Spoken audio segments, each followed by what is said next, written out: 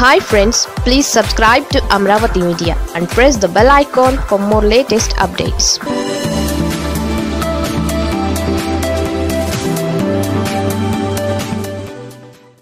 MP పదవికి రఘురామ రాజీనామా. ఈసారి నిజమేనట.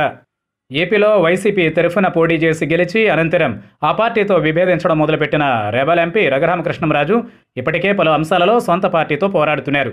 అదే సమయంలో రాష్ట్రానికి సంబంధించిన అంశాలపైన పార్లమెంట్లో నిత్యం ప్రశ్నలు అడుగుతూ వైసీపీని అక్కడ ఇరుకన పెట్టేందుకు ప్రయత్నిస్తున్నారు.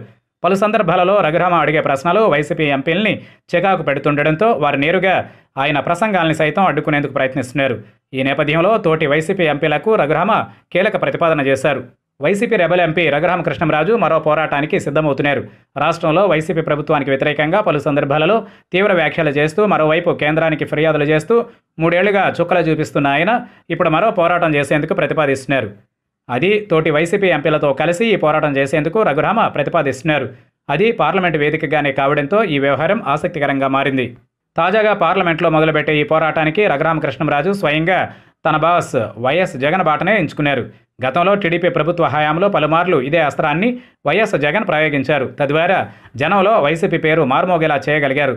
తాను అనుకున్న విధంగా మైలేజీ సాధించుకోవడమే కాకుండా రాష్ట్రం కోసం వైసీపీ పోరాడుతుందన్న భావనను జనంలో కల్పించగలిగారు. దీంతో ఇప్పుడు అదే అస్త్రాన్ని రఘురామకృష్ణంరాజు కూడా ఎంచుకుంటున్నారు. పార్లమెంటులో వైసీపీ ఎంపీలతో పలుమార్లు వాగ్వివాదాలకు ఘర్షణలకు దిగిన రఘురామకృష్ణరాజు ఈసారి మాత్రం వారిని కలుపుకుంటూ ఓ కొత్త ప్రతిపాదనను తెరపైకి తెచ్చారు. తాను అనుకున్న పోరాటంలో సొంత పార్టీ వైసీపీకి చెందిన తోటి ఎంపీల్ని భాగస్వాములను చేసేందుకు రఘురామకృష్ణరాజు ప్రయత్నిస్తున్నారు. అయితే వారు ఎంతవరకు కలిసి వస్తారో తెలియదు కానీ రఘురామరాజు మాత్రం వారికి బహిరంగంగానే ఆఫర్ ఇచ్చేశారు. దీంతో ఇప్పుడు వారు దీనికి సై అంటారా? లేక బాస్ను అడిగి చెప్తారా? లేక ఏది మాట్లాడకుండా జనంలో పలుచనవుతారా అన్నది తేలాల్సి ఉంది. వైసీపీ ఎంపీలతో కలిసి పార్లమెంట్లో ప్రత్యేక హోదా కోసం పలుమార్లు గతంలో గళం విప్పిన రఘురామకృష్ణంరాజు మరోసారి అదే అంశంపై తుది పోరుకు రంగం సిద్ధం చేస్తున్నారు. ఈ నెల ఇరవై తొమ్మిదిన ముగిసే పార్లమెంటు శీతాకాల సమావేశాల ముగింపు రోజు ప్రత్యేక హోదాపై మూకుమ్మడి రాజీనామాలు చేయించేందుకు రఘురామ ప్రతిపాదిస్తున్నారు.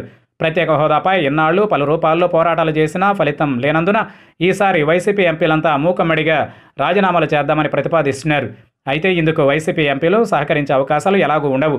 కాబట్టి తాను మాత్రం ప్రత్యేక హోదాపై రాజీనామా సమర్పించడం ద్వారా అటు కేంద్రంతో పాటు వైసీపీ ఎంపీలు జగన్పై ఒత్తిడి పెంచాలని భావిస్తున్నారు. అదే సమయంలో వచ్చే ఎన్నికలకు నరసాపురంలో మరోసారి గెలిచేందుకు ఈ అస్త్రం పనికొస్తుందనేది రఘురామ ఆలోచనగా కనిపిస్తోంది.